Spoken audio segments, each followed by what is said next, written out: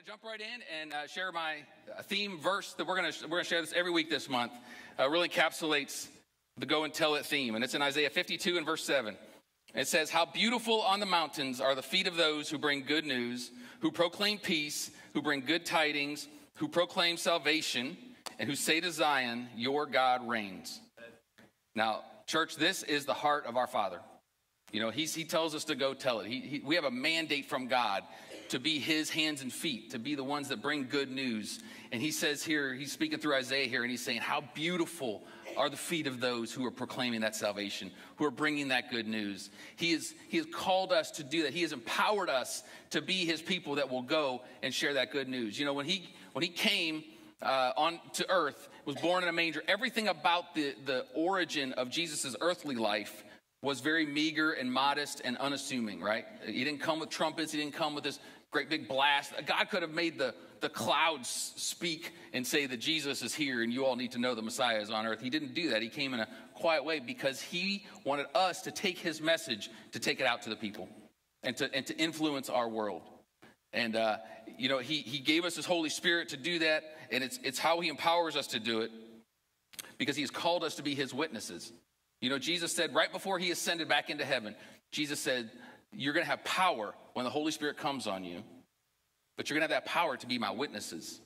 You know, we, we love, as Pentecostals, we love to talk about the power of the Holy Spirit. You know, the Holy Spirit in us helps us. We can lay hands on the sick and they'll be healed. We can, uh, we can, the Holy Spirit empowers us to resist temptation. And there's fruit in our life that comes from having the Holy Spirit dwelling in us. But the, Jesus said right before he left, he said, The power of the Holy Spirit is so that you can be my witnesses, so you can go and tell the world of the love of the Father and what God has done for you, and you in turn can share that with other people. That's God's heart. And, you know, we know it's not always easy to share our faith. You know, we're in a culture today that, that a lot of people have the mindset of just, you know, you do your thing, I'll do my thing, and I, hope God gets you and praise God. But, but uh, that's not really God's heart for us. He didn't call us to just do our own thing. You know, in fact, I'm going to make my little plug for church here, but it's one of the biggest reasons we go to church. And we have this community of believers so we can come together, we can be encouraged, we can be uh, challenged with one another to remind ourselves that there is a world outside of those doors that needs and deserves to hear about the love of the Father just as much as we did. Amen? And so we come together like this. We come in community. You know, coming to church doesn't make you saved, but when saved people come to church, it reminds us of the, the, the fact that, yes, yes, when we worship God, yes, He really is that great. Emmanuel, God is with us. What a powerful message that we have a God that is with us everywhere we go. And, when he, and if He's with us, it's so that we can, He can go with us so we can share that truth to the world and be, be influencing our world that God has put us in. And, uh, you know, the Great Commission is, is probably the most famous uh, thing that Jesus said in regards to what our, the people of God are called to do. And it's in Matthew 28. Most of you probably know it. I'm going to read it. It's in verses 18 and 20. He says, Then Jesus came to them and said, All authority in heaven and on earth has been given to me. Therefore, go. Everybody say, Go. Go. go and make disciples of all nations, baptizing them in the name of the Father and of the Son and of the Holy Spirit, and teaching them to obey everything I have commanded you. And surely I am with you always to the very end of the age. I love the last line of that. He, he doesn't just give us this mandate and say, okay, listen, I'm worth it. You just need to go do it and listen, obey me. He says, not only do I, do I expect you to do it, but he said, I'm going to go with you. He's not just telling us to go and tell it. He says, I want you to partner with me in going and telling it. And he's going to do it with us. He's, he, that's, that's the Holy Spirit living in us. When we are out there, you may, you may be the only one in your family that, that you would say is saved and is a Christian. And, but that's okay because you're never alone when you're going to share the love of God because Jesus says, I'm with you always. I'll never, ever let you do this by yourself. The Holy Spirit is there to help us, to empower us, to give us what we need to be able to share the love of God with those that we come in contact with and those in our world. And I think it's also interesting here that he says, Teach them to obey everything I've commanded you. Teach them to obey everything that I have commanded you. Obedience is the evidence of salvation. Our obedience to God is evidence that we are saved. Now, before you jump on me and say, no, no, we're not saved by our works, we're saved by grace through faith, nobody believes that more than me. But what I'm saying here is not that, that obedience is what makes you saved. Obedience reflects the fact that you are saved. And he tell Jesus tells us there to tell the people like when you when you share your faith, when you talk about me and people say, "Yes, I want that." And you and they receive Jesus, they allow him into their heart and they receive his forgiveness of sins. He says, "Then I want you to teach them to obey all my commands." We're called to do that. We're called to obey his commands. And one of his commands is to go into your world and share the gospel. When he said go into all the world, he's not telling all of us to go to China or Russia or Alaska or wherever it might be. Some of us are called as missionaries to go out, and that's great, but we're all called to go into our world. God has put people in every one of our lives that need to know this love that we've experienced, this Emmanuel that's with us, this God that has come in the earthly form to come with us and dwell in us and give us the power to live for Him. We're all called to do that. That's what the Great Commission is. And you know, going has always been a part of the Christian faith. There's always an element of going in our walk. You know, some of us want to think, you know, you may think, well, what about the verse that says, be still and know that I am God? Well, that, that's referring to something completely different. We're, we're called to, when we're, when we're talking about being still, it's about not trying to achieve to win God's favor. You know, we're not trying to, to, uh, to do things on our own. We can, we can know that He's God and be still in that. But at the same time, he, Jesus said very clearly, go. Uh, he said, I'm sending you out. And in fact, going started right after Jesus was born. That, that mandate in our life started immediately after Jesus was born. And I'm going to show you here in, in the, the story in Luke 2, which is the Christmas story that you probably hear every year if you're in church. Uh, it's, it's the most read one. Um, there, there's a couple really neat things in here that I want you to see. I'm going to read this, this story out of Luke 2 8 to 18. It says, And there were shepherds living out in the fields nearby, keeping watch over their flocks at night. An angel of the Lord appeared to them, and the glory of the Lord shone around them, and they were terrified. So let me stop right there. An angel of the Lord appeared to these shepherds. So even an angel was sent to go to these shepherds. It says later that the angel went back to heaven later. So the angel was sent from heaven to actually tell these shepherds about the fact that Jesus was being born. It says, But the angel said to them, Do not be afraid. I bring you good news that will cause great joy for all the people. Today in the town of David, a Savior has been born to you. He is the Messiah, the Lord. This will be a sign to you. You will find a baby wrapped in cloths and lying in a manger. Suddenly, a great company of heavenly hosts appeared with the angel, praising God and saying, Glory to God in the highest heaven, and on earth peace to those on whom his favor rests. When the angels had left them and gone back into heaven, the shepherds said to one another, Let's go to Bethlehem and see this thing that has happened, which the Lord has told us about. So they hurried off and found Mary and Joseph and the baby, who was lying in the manger. When they had seen him, they spread the word concerning what had been told about this child, and all who heard it were amazed at what the shepherds said to them. So the shepherds, as soon as they, they saw, they were sent to go see the baby Jesus. And then after they see, saw him, it says that they went out and they spread the word about him. And the people were amazed at what the shepherds were saying to them. So the shepherds immediately went. They were sent out immediately to go and tell of this good news. God uses us to spread his love. That's what he does. We are the vessels that God uses to spread the love that he has for each and every one of his children. Somebody told you about the love of Jesus. Somebody had to tell you. My mom told me at such a young age, I don't even remember the first time. I was raised hearing about how much Jesus loved me. And I'm very thankful for that. And so the only way people will know is if we tell them. And there's always an element of going. Jesus, in his earthly ministry, he sent out his 12 disciples. He said, I am sending you out as sheep among wolves. Boy, how would you like that commission? Hey, I'm sending you out. You're going to be a sheep among a bunch of wolves. That was Jesus telling his disciples, basically saying, I'm sending you out into the slaughterhouse you're going to be outmanned, you're going to be outnumbered, but I'm going to go with you. He didn't care that they were going to go among wolves. The message is too important, it has to go out. And then you look at, at the story of the blind man in John 9. The, the man was born blind. He came to Jesus and said, Please heal my sight. And Jesus bends down and gets some dirt and makes some mud with his own saliva. You probably remember this story. He rubs it in the guy's eyes. And could the guy see right away? Nope. He told him, he said, go to the pool of Siloam and rinse. The guy that the, the guy could have said, well, man, I mean, you put all this mud in my eyes, thinking, making me think I was going to see, and I can't see. Why would I go all the way down here after you didn't do what I thought you were going to do? He didn't do any of that. It took, he took a step of faith, he stepped out, and he went. And you know the story. He was healed at that moment, completely healed. And there's always going to be that element in our relationship with God. And what I'm, I'm here to tell you today that there are aspects of the character of God, there are blessings that come from your relationship with God that you will never experience until you are willing to step out. God reserves some blessings and some, some revelation of his love for you for the people that are willing to step out and go and tell it. It's a fact. You can take it to the bank. There's no question about it. That, that God believes in that so much. He says, for, he says to us, He would say to you, I poured my love into you. Okay, and you, you've experienced my, my love for you, my relationship with you. Now, it's, it's your responsibility to go share it. If you don't, okay, I mean, you don't lose your salvation by not sharing your faith, okay? You still go to heaven. But you're missing out on so much more that He has for you because he reserves those things for those that he knows are going to take it and that, that their feet are going to be beautiful and bring good news to those that are on the mountain.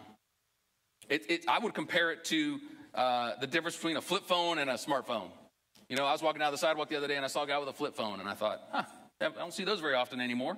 You know, more power to him, I guess. But my, my, we're, we're so we're so wired, you know, programmed by these things now. Because my first thought was, well, how does he text his friends, you know, which I know you can text on a flip phone, but then I'm like, how does he check the news?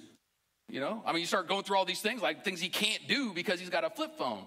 You know, when you get that smartphone, I remember the first time I got a smartphone from a, a regular phone, and I mean, the world just opens up to you. You know, there's so much you can do your email, your text, you can surf the internet, you can get these apps. I, I have an app on my phone that turns on these all these Christmas trees in the building. How cool is that? Of course, now that I say that, I sound really lazy. But, but you'd be surprised how long it takes to walk around here and turn everything on. And uh, I have an app that turns off all the air conditioners in the building or turns them on. And a lot of you know that because when it's hot, you come and yell at me and tell me to pull out my phone. But I mean, we have apps now that can do everything and anything. It just, the world just opens up, you know, when you experience that compared to the old style of flip phone or car phone. And, and that's how I, that's, that's the comparison I see when it comes to whether or not we're willing to step out and go and tell it and do the things that God, that Jesus has asked us to do, to be His witnesses, to be His, uh, the bearers of His love to this world. He asks us to do that, and He expects it from us. But there's such great blessing that comes when we do it. Amen. Now, this has been a struggle forever. Okay, it's always a struggle. The enemy, one of his biggest tactics is to keep us from sharing our faith because there's so much power in it. So it is a struggle. It's a struggle for everybody, even the most anointed evangelist when it comes to actually sharing your faith one on one with someone, there, there's always that tension there because you don't want to set people off. You don't want to say the wrong thing. You don't want to look like you're high and mighty and you're talking down to them and, and you don't know if they'll accept what you say. And, and there, there's always that tension there. And I think there's a lot of things that keep us from sharing our faith. And, uh, you know, I was just, as I was preparing this and I was thinking through it and praying, I just felt like there was a few things that, that the Lord showed me that, that I want to share with you guys that I think keep us from sharing our faith with people and being that, that city on a hill, that light that, that God calls us to be. Uh, and hopefully, by going through these, we can see that, that these are things that we can be intentional about dealing with in our life, okay? And, and the first reason that I think we don't tell it is, is by far the number one reason. It's just flat out fear. It's just fear. We, we as human beings struggle with fear. I think, I think most of us, at the end of the day, we'd love to be able to share our faith with someone and share our faith with our hairdresser or, or, or a, a waitress or, or somebody in our life or, or a family member or a neighbor or coworker, whatever it is, but we just get paralyzed sometimes because I think in our mind we visualize sharing your faith as that, like that picture of Jessica on Bel Air Road. Maybe you guys can put that back up so we can see exactly what, uh, what that looks like for each one of us. Yeah.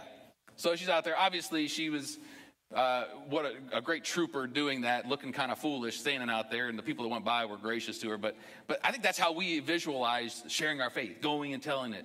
You know, go into all the world, make disciples. Like that means we got to stand on a soapbox and yell through a bullhorn. That's not how we have to do it. We don't have to be afraid to share our faith because there are people that are called to stand on the street corner, and some people that have been effective doing that. But for most of us, that's not the way we're going to do it. We're going to do it in the confines of a relationship and people we love. That we built that bridge of love in their life. But nevertheless, we fear being able to share that faith. And, and I would go as far as to say there's a few different aspects of fear, even that we deal with when it comes to sharing our faith. And I want to give you a few of those. I think the first one is rejection. We as human beings fear rejection. That's normal for every one of us. That's a normal reaction. Nobody wants to feel rejected. Nobody. And all, probably all of us have experienced it at some point in our life. And we know how it feels, and it's not good. And so it's very real because we, we can be concerned that, oh, if I, if I put myself out there and I say, well, you know, I'm a Christian and, and can I tell you about Jesus and what he's done in my life? And you feel like you're, you're the, the enemy has done a good job of making us feel like, oh, if you do that, you're going to be labeled. You know, people don't want to hear about your stinking faith. They're just going to label you as a pro life homophobe if you try to talk about Jesus, you know, and they're, and they're going to call you a religious nut, and you're, you're that guy, and nobody can do anything around you or have any fun around you because you're, you're one of those Christians. And, and we, we can build that story up in our own mind when nine times out of ten it's not even true. Most people, when you want to talk to them about your faith, they'll, they'll listen to you. And we can do that, but we, we worry about, oh, what are they going to do? They're going to reject me. And, and, we get afraid of that, so we just clam up, we don't say anything, and we just hope beyond hope that that person actually maybe, you know, has some kind of experience without us actually telling them. And we, and we can rely on that more than anything.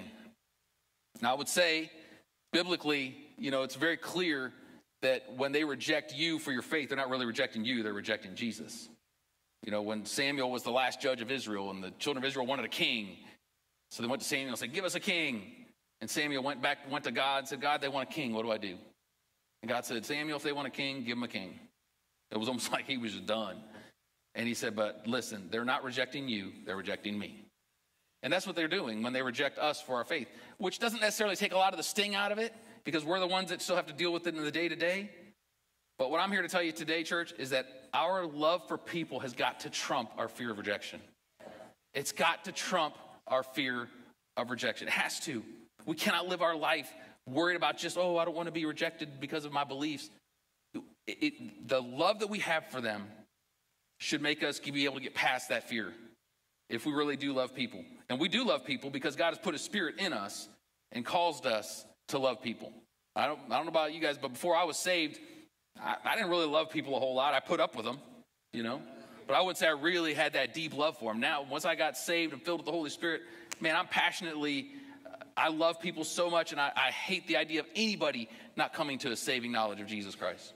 That's in us. So that has to trump. We need to focus on that love more than the rejection. Amen. I think, I think another reason that we fear is that because we're afraid that we're going to look incompetent or that we are incompetent and really don't know how to share our faith. You know, I, I know that that's something we hear a lot of times. Like, man, I'd like to share, but uh, what if what if they start asking me questions about the Bible? I don't know the Bible that well. You know, what if they ask me if Adam and Eve had belly buttons? You know. And I would say, well, of course, you just say yes. Of course they did, because when they were when he made them, he said, "You're done and you're done." So. It's a really, really cheesy joke. Sorry. Um, but you know, but but the, that that concern is real because some of us would say, you know, I just don't know that much. You know, I, I pray and I try to read my Bible, but a lot of times I read my Bible, I don't really understand it, and and um, you know, I'm just kind of hanging on myself, and so I don't know. I can't really get into a deep theological conversation with someone because I just don't know enough. And I would say to that, none of us know enough. You know, none of us do. I, I, I, feel like I, you know, I love reading the Word. I love studying the Bible, and I, I love reading Christian literature. But then I watch Ravi Zacharias online, and people grill him and ask atheists will ask him questions, and he's so eloquent and says stuff, and I just think, man, I'm an idiot, you know, because he just knows so much. He's just so good at it. But man, there's not many Ravi Zachariases in the world, you know. The thing is, we don't have to have all the answers. We just have to be able to tell them what God's done in our life. You know, we don't have to have it all figured out. We don't have to be perfect. We don't have to be a scholar. Because frankly, it's not our job to convert people, it's the Holy Spirit's job. You know, our job is to share what God's done in our life, and then it's up to the Holy Spirit from that point to take them and change them. We can't save anybody. If you said, hey, I saved this guy, well, you're sadly mistaken because nobody's going to get saved for you. People have to get saved because of Jesus and what he did because none of us are good enough. So we just share. And if, if people start asking you questions, you know, it's okay to say, I don't know. I say it sometimes. People come up to me and ask me questions about the Bible, and I'll say, you know, I don't really know, but I'll be happy to find out for you. And I turn around and Google it on my phone, you know? So it's okay, you know? We don't have to know it all. We just need to be available for God to be able to use us. I think the third thing that we fear is getting out of our comfort zone. And oh, this is the big one we as Americans, especially, we, we spend the majority of our time trying to make ourselves comfortable. And that's okay. You know, I, I, we have thermostats in our house with heating and air. We have thermostats in our car with heating and air. I mean, we want to be comfortable. We wear clothes that are comfortable. We want a comfortable mattress, comfortable furniture. Like, that's just how we're, we're designed. And that's okay to want those things. The, the, the issue here is that we cannot let our desire for comfort in the natural carry over into our desire to be comfortable in our faith. Okay? Let me tell you something, church. There's nowhere, nowhere, nowhere, nowhere you can scour the Word of God. There's nowhere in the Bible that it says that the Christian faith is comfortable and easy and just floating around. I know some people, there's preachers that preach it like, oh, Jesus, He'll make your life better. that, that's, that's a lie from the pit of hell. Now, He'll, he'll make your heart better, but I'm telling you, your life necessar- won't necessarily get all that better right away. You're still going to have stuff happening in your life. You know, and, and Jesus can come into those situations and help and make things better. But being a Christian doesn't mean all of a sudden, oh, good, now I just get to float through life now. You know, now I ride in the back of the limousine and sip on my whatever I'm drinking. You know, Jesus said, I, I just told you earlier, he sent the 12 out as lambs, sheep among wolves. That's, that's a big deal. He says, in this world, you're going to have trouble, but you can take heart because I've overcome the world. Jesus does not call us to just live in our comfort zone. In our faith, that's this is the thing, church. It's always going to be difficult to, to be a person that's consistently sharing your faith with people. But that's exactly what Jesus wants. He wants us to get out of that comfort zone and to be able to share our faith. And to be able to be bold enough to say, you know what, this is awkward, this feels weird, but I'm going to go ahead and do it because this person's worth it. We, we can't live our Christian life trying to be comfortable all the time. Okay? We have to be willing to stretch ourselves. There is absolutely aspects of the relationship that you will have with God that, that you will not experience until you are willing to get out of that comfort zone and be part of what's, what God's doing. I know as humans, we, we like to blend in. We don't like to rock the boat for the most part. Most people don't like to rock the boat. You know, I have one child that lives to rock the boat, but for the most part, we don't really like to do that. We like to blend in. You know, there aren't many trendsetters in the world. Most people are trend followers. I'm more of a trend follower. It's the reason I'm not wearing an orange suit up here today, you know? I'm not trying to set trends. I'm trying to, we try to blend in. And, and that's okay in life, but in our faith, it's, it's not what we're called to do. We're not called to blend. We're called to make a difference. We're called to be the city on a hill, the light that is not put under a bushel, right? To make that difference in the world. Americans will do everything and anything not to suffer. But the gospel spreads when we get out of our comfort zone. The gospel spreads when we get out of our comfort zone. You know, when you see persecution around the world in the church, it, it's, it's heartbreaking to see Christians getting persecuted just because they're, they love Jesus in other parts of the world. We don't really experience it here, but you do see it all over the place. And, and my first reaction is always that it, it always kind of breaks my heart when I see it. But there's another part of me that goes, you know what, though? The church in that area is going to grow. The church always grows when it's persecuted. Always. When people are out of their comfort zones, because there's something about when you have to know why you believe what you believe, and you have to stand up for what you believe and be willing to be persecuted when, when somebody's standing over you, a policeman standing over you saying, I'm going to beat you with the butt end of this gun if you don't denounce your faith in Jesus right now. It makes you, there, there's something that rises up in us that says, I'm not going to, I'm not going to deny him because he's everything. But we live in this country where it's so comfortable that we can let that, we can let that bleed into our relationship with Jesus too. And we can't do it. We got to be willing to get out of our comfort zones and stand against that fear and be intentional to share our faith. And then the last, the last aspect of fear is hypocrisy. We don't want to be looked at as hypocrites. The culture that we live in, the enemy and his influence in our culture has convinced a lot of us that we can't really talk about our faith because we don't want to look like hypocrites. You know, because well, you don't have it all together, so you can't you can't tell him what to do. You can't judge him. You know, the enemy is the master at twisting scripture. He did it to Jesus when he tempted him in the desert, and he does it to us every day. How many times you heard, "Oh, you can't judge me. Judge not, lest you be judged." Doesn't the Bible say that? What about you know, he who is without sin cast the first stone? That was even Jesus saying that. You can't do that. You can't judge me. I see tattoos, people getting these tattoos now that says only God can judge me. And so we equate that to meaning like well, I can't talk to them about Jesus then because then I'm judging them. And that's not what it is at all. We're not judging people when we share our faith. We're not judging them at all. What we're doing is we're saying uh, there's a standard of living that I can't meet, and I know you can't meet because I know that it's impossible for us to meet. But I got some really, really great news. There's this Jesus that came to earth that he and he was God and he put skin on, he came down, he lived a sinless life, and then he was crucified on a cross, and three days later he rose from the dead and he ascended back into heaven. And if I will receive the forgiveness of my sins through him, I can be completely forgiven. And I can know that I'm to I'm in right standing with him and that I'm to be in heaven when I die. I, that's not judging at all. That's just saying what this says. We're not judging people. We're not throwing stones at them. We're trying to give them a gift. This is a, I mean, this is the greatest gift that's ever been given. It's like I'm trying to hand you a suitcase full of $10 million. You're saying, don't judge me. You don't know if I'm poor. But we believe that lie. We believe it. Like, oh, I can't say anything because I don't want to sound like I'm judging them. You know, that's that's not good. That's not what we're doing. We're giving the gift of salvation to people. It's a wonderful thing. We don't have to worry about being hypocrites. Have you ever wondered about the fact of why the angel appeared to the shepherds?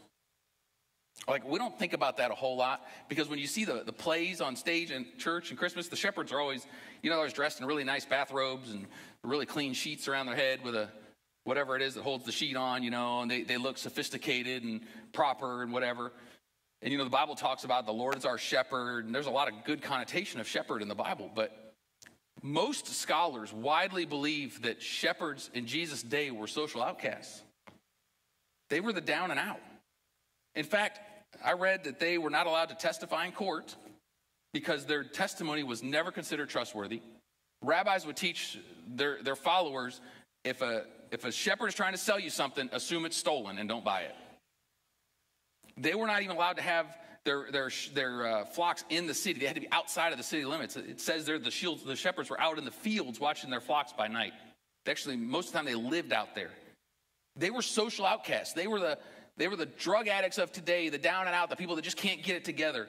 And the angel decides to appear, obviously from the command of God, to appear to these shepherds. Why didn't he appear to the, you know, the learned, the well, the well-to-do people, the people that had their act together for the most part, you know? I think it's because that's the nature of God. I think that's his character. He, he, he, he uses the foolish things of the world to confound the wise. You know, and he, he said, you know what? I'm not going to, not only am I not going to make some huge announcement to the whole world that Jesus is here, and I'm not going to go to the learned people, I'm going to go to the down and out, and I'm going to tell them about Jesus. They're going to go see him. And the Bible says that they went around telling everybody, and everybody was amazed. It, the, the connotation there suggests that everybody believed him. Like, oh my goodness, these guys, did you hear what the shepherds saw? And it was like all of a sudden they're, they were they had a voice because of what God had done in their life. And the people could have said, "Oh, we don't believe you. You guys are the, you're shepherds. You're the hypocrites. You know, you don't have your life together. I saw you stole something the other day. Why would I believe what you said?" It's not about having everything perfect and having your life all together. It's just about sharing the experience that you've had with Jesus. That's what the shepherds did. That's what God's called us to do. So you don't have to worry about being a hypocrite. You don't have to worry about having it all together and being perfect and making sure you know how you have, you know, the half the New Testament memorized so you can recite it. It's just about sharing that experience you've had and what God's done in your life.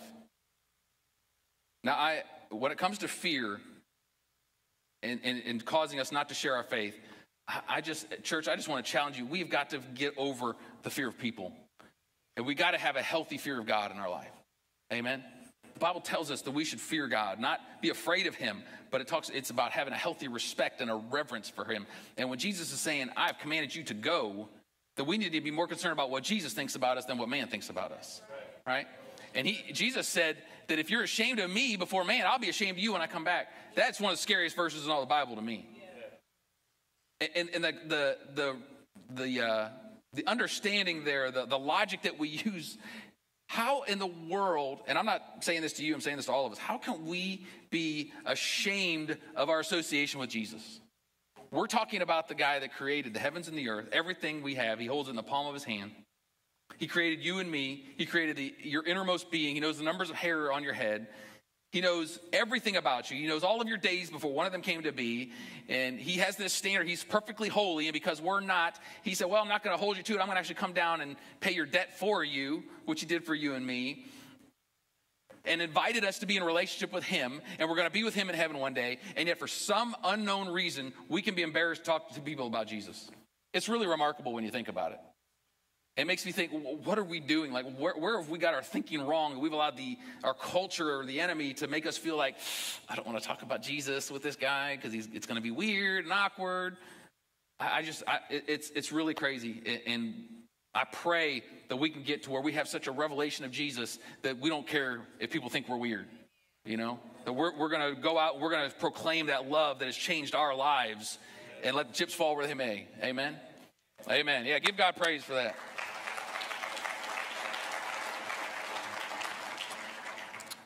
All right, let me move along. So, the, uh, fear is the first reason I think we don't tell people about Jesus. I think the second one is apathy. I think sometimes we just get apathetic. Uh, the, the, visual that I have there is just kind of the shoulder shrug. I don't know if you see it, have that emoji on your phone, but it's kind of like, uh, I just don't know, you know?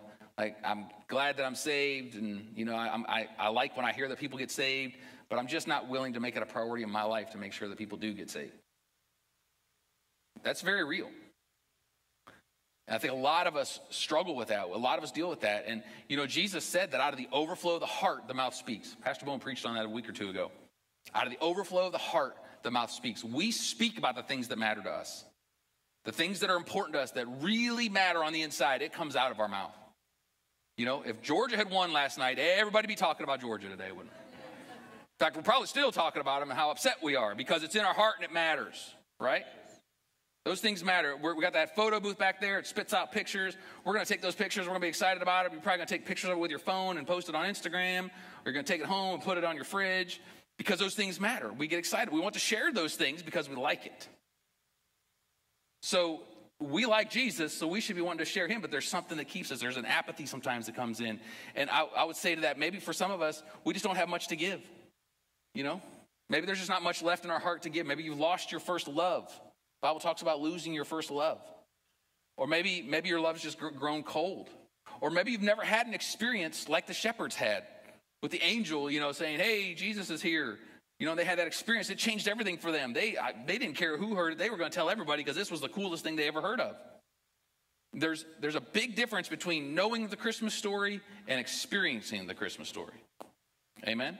I grew up in church. I knew the Christmas story forward and backward. That verse, that section I read in Luke 2, a lot of you could probably recited it without me even putting it up because we've heard it so many times. I knew it. But man, then when I was about 18, I experienced it and everything changed. I went from just going to church and trying to be a good kid to being passionate about Jesus and passionate about people. I went from thinking I was going to live in my little hometown in Ohio for the rest of my life to I couldn't wait to get out of there so I could go tell people about Jesus because everybody I knew was saved. And I went into the mission field and I was, and my life's never been the same since. But it was because I experienced it, I didn't just know it. And we need to experience Jesus in that way. You know, I, the, the, uh, the man in, in John chapter 9, the, the blind man, that was, that was healed by Jesus. He experienced Jesus, and man, he was just telling people about what happened to him. You know, the Pharisees and the, the, the leaders were mad. They're saying, why did he, who did, how did he do this? What happened? You know, they didn't really believe what he was saying. They kept pushing him, prodding him, and he finally said, listen, I don't know what to tell you. All I know is that I was blind, and now I can see. And that dude, Jesus, over there is the one that did it. That's all I know. And I'm going to tell people about it because I'm stinking excited because I was blind as a bat and now I can see perfectly and I'm excited and I'm going to be telling people. And that needs to be the experience we have, right? That needs to be our experience. And some of us, you know, maybe you've been saved so long, you you almost just, it's just kind of second nature. And you, you've got, you've surrounded yourself with people that are like minded and saved and Christians and, and, uh, and just all, you're all kind of the same. And that's fine. If that's the case, then we've got to make sure we get ourselves out there. We got to get outside of that circle because there's people outside of our circle, right outside of it, that need the love of Jesus. And we got to be willing to do that. We can't be apathetic. There's no place for apathy in the Christian walk. The heart of God, when you think about apathy, here's the heart of God. Jesus, he, they left the 99 to go get the one. Man, I struggled with that verse for a long time until I really started understanding the heart of God. It's not that he's leaving and forsaking the 99 that are trying to stay in the circle with Jesus. It's just that his heart is so passionate for that one lost one, he just can't, he can't not go get it. He just can't sit there and be like, well, at least I got 99 out of 100. Like, nope, hang on, guys, I'll be right back. And he goes and gets it. That's his heart. And that's his heart for us too, that we would go get it. That we wouldn't be okay with, well, you know, 80% of my family's saved. That's good, I guess. That, that we would have to say, I've got to go do what I can do. I've got to share the love of Jesus with this with these people because they deserve to know it too. We cannot be apathetic about what God's done in our life. And when we experience his love, because some of you might say, well, you know, I want to experience that, but I, don't have that kind of a story to tell people just because, you know, I just, I kind of got saved 20 years ago. And since then, you know, I've just kind of been doing my thing. And, um, what I would say to you is get on your knees and beg God to show you, to give you that, uh, to rekindle, to give you that experience, that fresh love in your heart. Because God will answer that prayer. He might not, may not answer it in five minutes, but He will answer that prayer because that's His heart for all of us. You know, when I moved to the South, uh, somebody told me about shrimp and grits, and I like shrimp and grits, so I thought they were probably good. But then I experienced them. Mm. I can tell you every restaurant in Augusta now that has good shrimp and grits. And I'm bored happy to tell you. It, it, when you know about something is one thing, but when you experience it, it, it should change everything. There's no place for apathy when we've experienced something that's that great. Not shrimp and grits, Jesus. Yeah. All right.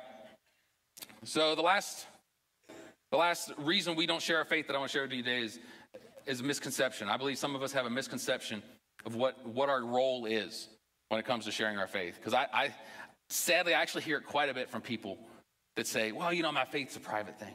It's just really private to me. You know, it's, it's, it's me and God. You know, and I have this private faith, and, you know, I just, I don't like to push my beliefs on other people. And uh, it's just really private. I have my own way of praying to God. You know, when I read my Bible, it's just, it's just me and Him. And to that, I would say, well, you're, you're halfway there, okay? Because that is how it starts. It starts with you and God. It has to begin there. The relationship here between you and Him has got to be there. But that's only half of it. The other half is that we have to go out, we have to share it. God doesn't give us that relationship with Him so we can just sit there and enjoy it. It's so that we can express it to others. That's, that's what He's done for us. It's, it's like if somebody gave you $10 million and you just sat with it in your room the rest of your life, it wouldn't do you any good. You know, we got to take it out, and your friends would hopefully want you to share it, you know?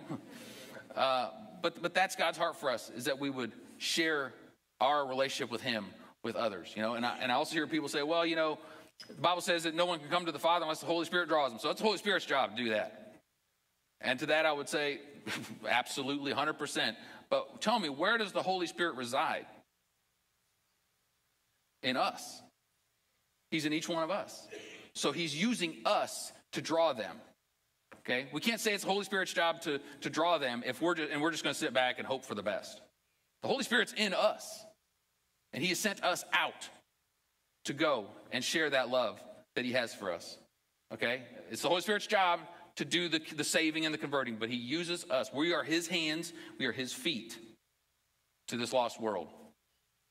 And then I, and I think some people would also say, well, you know, it's the, that's the pastor's job. That's the church staff job to, to share the gospel, you know, and to, to tell people about Jesus. That's, that's their job. That's why we go to church and pay our tithes and, you know, we're, we're making sure they can do that. Well, there again, you're only half right because, of course, it's, it's, it's the pastor's job too. But, you know, the Apostle Paul was pretty clear in Ephesians 4 that the, the purpose of the fivefold ministry, the fivefold ministry is the ministry that, that, that function, makes the church function. It's the apostles, prophets, evangelists, pastors, and teachers. Okay, so that's the church ministry. He says the job of the fivefold ministry is to equip the saints for the work of the ministry. So you could take it and say, okay, the pastor's job is to tell you guys to go tell it so that you can go tell it. That's really what it is. Think, of, think about, like, uh, you know, we have on staff here at the church with everybody, I think there's about 20 of us total. So if, if, if all 20 of us share, you know, the love of Jesus with as many people as we can, that's good. We should do that. We should, we'd make an impact.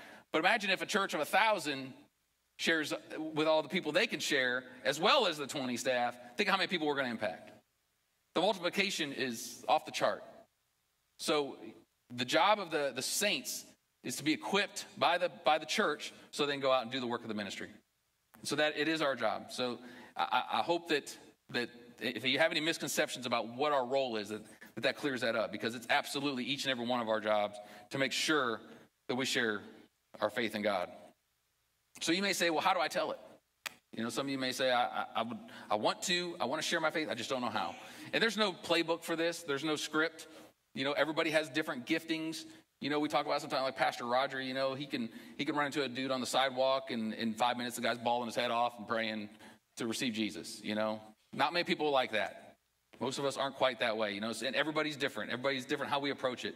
Um, like I said, today we're talking about how we tell it with our words, but over the next couple weeks, we're going to talk about how our life can tell it, which I think most of us are probably more comfortable with that. You know, if I can serve you by telling, to show you the love of Jesus, I'd rather do that than to actually sit down and, and, and take you through the Bible because a lot of us are more comfortable with that. But What we're talking about today is actually saying it.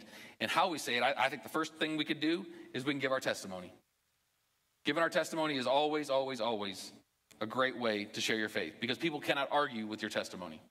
Again, the guy in John 9, he said the, the, the, Pharisees were trying to beat him down, saying, What in the world happened? He finally just said, Listen, I was blind, now I see. Amen and amen. That's all I got. You know, he wasn't a Bible scholar, but he had a testimony. And we all have a testimony, church. Every one of us has a story to tell. You know, I, I said it earlier. I, I, didn't care a whole lot about people until I got saved. Now I love people. That's huge. You know, I used to get, I used to have road rage all the time. Now I don't. You know, I used to um, not like my dad. Now I do. I mean, whatever it is, you know, there's many things that you could say that God, it's all because of what God did in my life. God's done something in all of our lives. We can share a testimony. The, the Bible says in Revelation 12 that they overcame him by the blood of the Lamb and the word of their testimony. Your testimony is not just a story where you're sitting around a table and telling funny stories. Your testimony is anointed, it has the power of the Holy Spirit to work in people's lives.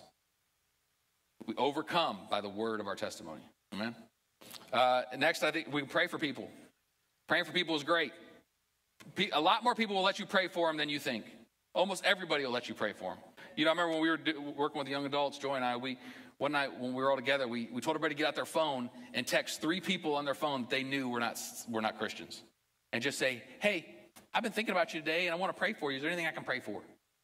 And everybody got out their phones and did it. And it was actually pretty fun. That's actually pretty easy, you know, nothing like hiding behind text messaging. That's great. And, uh, and it was amazing because some of the people were literally getting lists from these people like, yes, you can pray, pray for this, this, this, this. And it was wonderful because they opened, it opened a door for them to be able to share with them later, like, hey, I've been praying for you. How's that situation going? You know? And people will let you pray because the huge, overwhelming majority of people know that if you're praying, it means you care about them, even if they don't believe in what you're praying for. And we can do that. We can pray for people. I remember being on a plane a while back, and some this lady sat beside me, and she was, you know, she's older than me, and she was just talking about her life, and um, she told me that she had been raised Catholic, but she really wasn't uh, living any kind of faith at the time, and and she, she just, you know how it is on a plane. You just start, people just start pouring out their heart. Next thing I know, she's telling me all this stuff about her family, and and my heart started pounding. But I decided I'm just going to ask her, you know. So I just looked at her. I said, "Is it okay if I pray for you?" And she right away, she, "Yes, that'd be wonderful." I grabbed her hand and I prayed. And the great thing about praying for somebody is you can preach the gospel to them when you pray. You know, my prayer started out something like, Lord, I thank you, Jesus, that you came to earth and you died on the cross for my sins. I thank you, Lord, that you are the great Redeemer, that we have salvation in you, that you forgive us. You know, I just preached the whole gospel, and she's sitting there, yes, yes, yes. You know? Whereas if I'd just been talking to her and said, hey, do you know Jesus died for you? It could have been awkward, and she would have probably been like, mm. when you're praying, you could do that, you know? And uh, man, I prayed, and when I was done, I, I looked at her, and she had tears rolling down her face, and it was a really powerful moment, you know? So we can always pray for people. That's an easy way to share our faith with others. They'll let you pray. You don't have to pray with, in King James. You can pray in, you know, Grovetown, Georgia. Whatever that you know, in the, the southern language, you can even say y'all. God hears y'all. So, so we can pray for people. And, and thirdly and lastly, we can invite them to church. You can invite people to church. We have a huge advantage here in the United States that we have churches everywhere. And you know, uh, a statistic says that 65 to 70% of people said that they would definitely consider going to church if someone they knew invited them. People will come to church. And you can invite them. And I think we have even a better advantage here at New Hope. I'm, i mean, I'm a little biased, but I think we have the best people in the world. And if, if somebody comes into this church, they're going to be greeted and they're going to be have their, their neck hugged and they're going to be have their hand shaken and they're going to be loved on and, and they're going to be treated with dignity and respect and they're going to be given a cup of coffee and they're going to come in here and they're going to hear the word. They're going to experience the worship experience that we have here. And it's going to be a good thing. So you can invite people to church, and chances are they'll come. Now, granted, I know it's a little nervous. I've done it before. I've invited people, and I've sat here, and I thought, man, if they show up, it's going to make the I'm going to be awkward because I'm going to want them to really enjoy it, but I don't want to overwhelm them. And you know, there's a little bit of nerves that come with that, but I've done it, and it works out great. You know, and we can do that. We can invite people to church. That's a great way to share our faith. We we preach the gospel at this church. We talk about Jesus and the cross. And so, uh, if people come in here, they're going to experience. They're going to have every opportunity to experience the love of God. So I would encourage you to do that this month and, uh, and all the time to invite people to church. Um, so in conclusion, I'm going to have you stand with me so I, so I stop talking. I'm going to, I'm going to wrap this up here.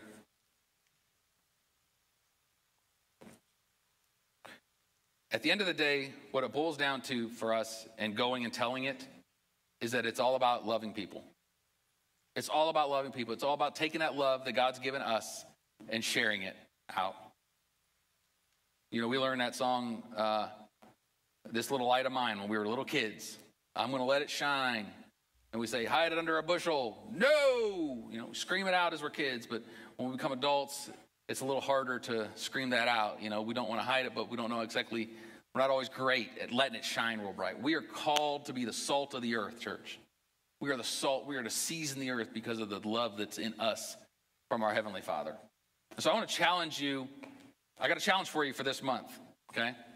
I'm going to encourage you this month to think of two people in your life, whether it's coworker, neighbor, family, friend, in-law, outlaw, whatever it is, that you think of two people and you would just reach out to them. Maybe by text, like I said, like we did with the young adults one day, just say, hey, is there anything I can pray for you about? And reach out to those people and say, what can I do? Or, or, or how can I pray for you? And then eventually invite them to church to come to our Christmas service on the 23rd. We just want to get them in here because on the 23rd, we're going to tell them about the love of Jesus in a, in a, in a way that's going to be fun and exciting, and they're going to experience God. And I, I just want to challenge you during these to take this seriously and to be intentional about this because you'll forget if you don't. Two people that you can reach out to to pray for them, and then even pray with them if you have that opportunity, and invite them to church. That's it.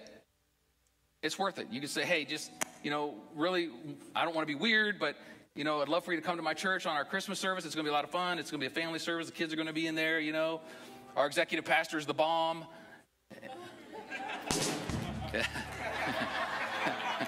Thank you, Jonathan. Thank you for that. Hey, that wasn't a joke. I'm just kidding.